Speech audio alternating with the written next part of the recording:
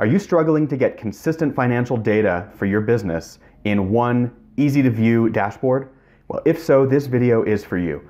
I'm going to be going into detail on how to use Airtable blocks, specifically for the purpose of getting some financial insights quickly and consistently for your business.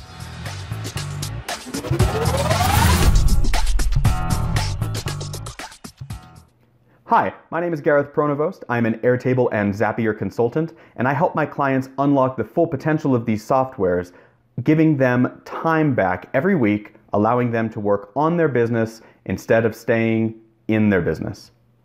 In this video, as I mentioned, we're going to be taking a look at financial snapshots, uh, specifically using the Airtable blocks. But before we get to that, I want to do two quick housekeeping uh, comments. So, number one, if you are curious about learning more about Airtable, I strongly encourage you to click subscribe to this video.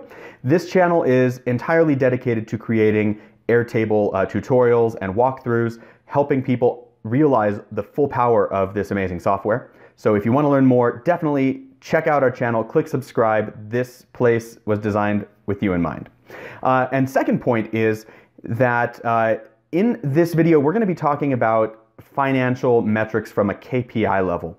Uh, and I want to really clarify that there's a big difference between the way you know your typical accountant and bookkeeper will think about uh, numbers as compared to how we're doing it here. This is really more high level stuff and this is not we're not going to get into a P&L, we're not getting into statement of cash flows, any of that stuff. No balance sheets. Um, so this is really, you know, how how do you get those insights that you need in order to make financial decisions for your business without getting like stuck in the weeds of looking over your numbers? Okay, so that's really where we're coming from with this. So just wanted to, you know, be uh, forthcoming in the beginning. So without further ado, let's jump on into this. So you'll see that we have a pretty simple and straightforward uh, setup here. We've got some contacts, and uh, in our contacts, these are different clients that we have sold on engagements. And uh, basically what we have here is a value for each project. So when a client engages with us and they say, yes, we want to buy, you know, each, each project might have a different value and we record that value on the contact level. And then we also carry invoices. And so on our invoices, uh, what we do is we're looking at both the invoice number, of course that's linking to a client, and then we're bringing in uh, both when did we send that invoice and how much did we well, how much was the payment for? And then also, when did they pay the invoice and how much did they pay? Because sometimes you might send an invoice that's like 20% upfront and then remainder on completion or whatever, right? So there's a bunch of different scenarios here. So we're trying to capture all of that in this example. So uh, keeping that in mind, let's jump into contacts again and see what we're really looking at. So all of the data in this table is what's getting summarized on these dashboards. And you'll see we've got four major dashboards built. First, we're tracking monthly revenue over time. And so this is when we sell a client, when we sell an engagement, uh, we're recording the value of that project all in one month. And this is why I say this is not really the way accountants would tend to think about numbers because uh, very often, especially with small business, we're going to be on a cash basis. And so our accountants will encourage us to record our sales when we actually receive the dollars, right? But there's another perspective as well where we we might want to know how much did we actually like sell? How many new engagements did we sell in that time period, even though we haven't collected the money yet? And that's what we're really recording here, right? Because let's jump into this first one. So this is this is a chart type on the block, and on the settings, you'll see that it's looking at a specific table, the contacts table, and it's looking at a specific view. In this case, it's looking at the master view.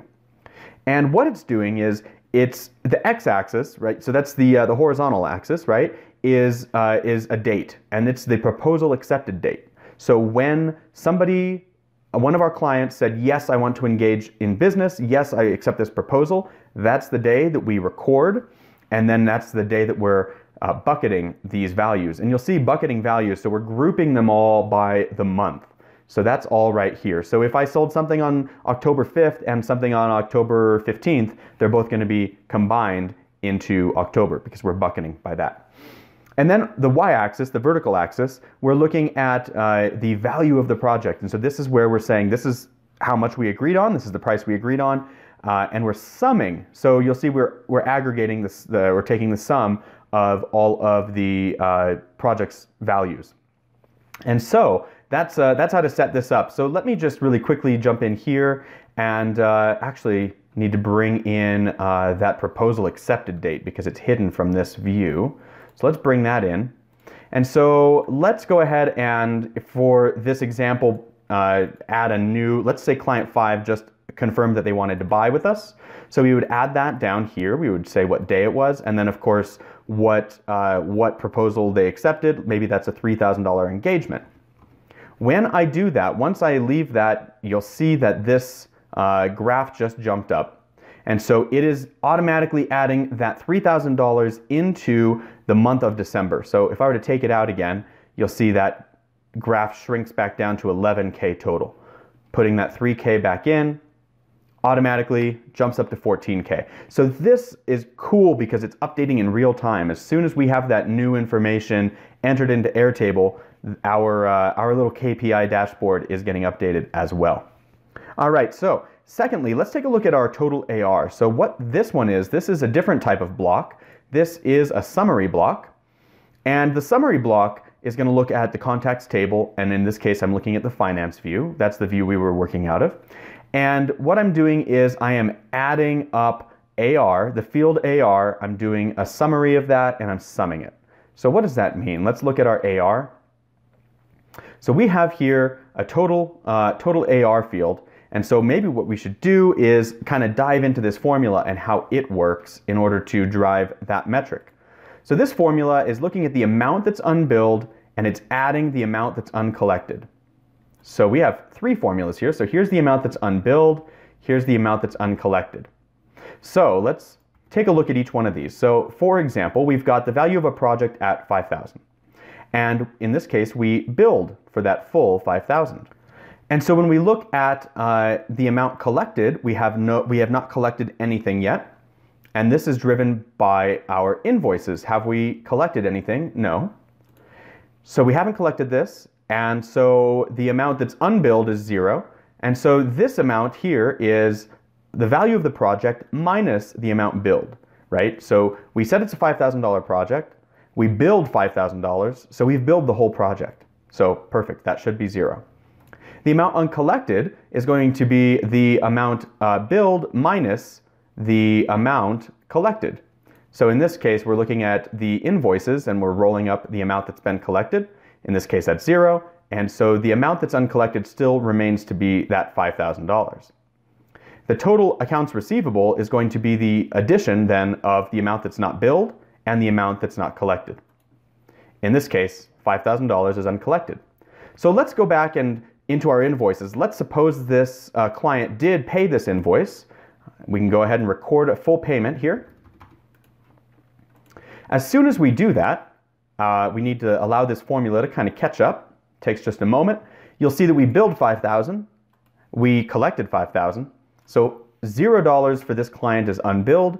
$0 for this client or project is uncollected. And so we have no account receivable remaining for this client. And so of course then, this amount here, this total AR, is the sum of this whole column, and that goes down as we collect invoices, which is exactly what we would expect. Now we have two different parts that make up this 21,000 here. We have the amount that uh, needs to be collected, and we have the amount that needs to be billed still.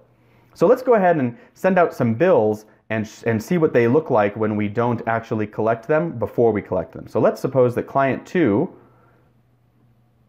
Give Airtable just a moment to catch up. Let's bring client 2 in, and let's bring client 3 in.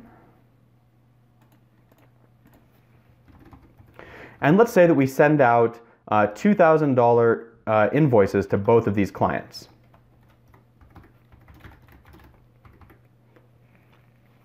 So you'll see that total AR hasn't changed, right? Because we haven't collected any more money from them. But what has changed is the split of that 21,000 and how it gets uh, you know, divided between both the amount uh, that's uncollected and the amount that's unbilled. In this case, we've got uh, more money showing up in the uncollected amount and it was taken from this unbilled amount. But again, the total does not change. These two numbers will always equal that total amount. So just, you know, think about the different ways you can set these things up. Maybe you uh, collect on the spot every time for your customers, and so you don't have the need to have this uncollected amount. Or maybe your, your customers are billed instantly, and so you don't have the need for an unbilled amount. But in any case, tracking your AR is a very, very vital thing for all businesses to do, and Airtable makes it super quick and easy just by looking at the data that you already have for your business, of course, you know you should be tracking your invoices uh, and and keeping a log of them somewhere anyhow. And so now you have the ability to just within you know a few moments just have these things set up so that you have real-time analysis and high-level KPIs for your business. All right, as always, I hope you found that to be super helpful. If you did, please be sure to click thumbs up on this video, and if you don't want to miss future content be sure to give us a subscribe as well. If you have any custom Airtable work that you'd like a little help with, we also offer free consultations. Check the description below. There is a link where you can put some time on my calendar and we can chat about what is possible in terms of helping your business uh, by employing the full power of Airtable. And as always, best of luck as you continue to grow your empire.